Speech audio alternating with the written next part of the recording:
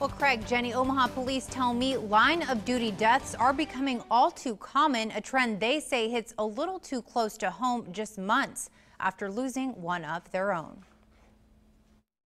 It's been less than four months since Officer Kerrie Orozco was shot and killed in the line of duty. But with an increase in shootings against law enforcement officers across the country, Bridget Fitzpatrick with Omaha Police says it's a reminder of the effects a fallen officer can have on the force. The death of an officer isn't just the death of an officer, it's a tragedy to the whole entire community. In Illinois, the manhunt continues for three men who authorities say gunned down Fox Lake Police Lieutenant Charles Joseph Gliniewicz Tuesday during a chase. And over the weekend, someone shot a Houston area sheriff's deputy to death after filling up his patrol car at a local gas station. Fitzpatrick says Omaha police know firsthand the dangers of the job all too well. This could happen anywhere to any officer.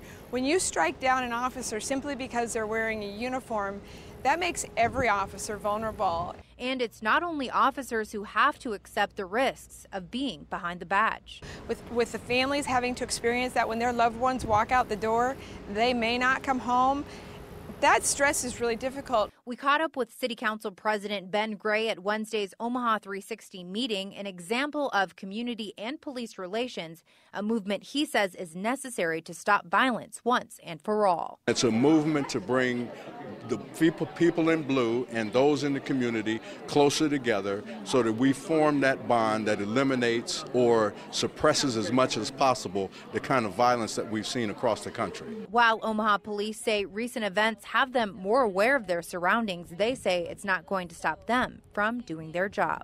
They're policing us, they're taking care of us, and I hear from them every day. We're doing the same job we always did. This is our job. And FBI statistics show that every accused cop killer last year was either captured or killed. Reporting live in the News Center, Andrea Flores, KMTV Action 3 News.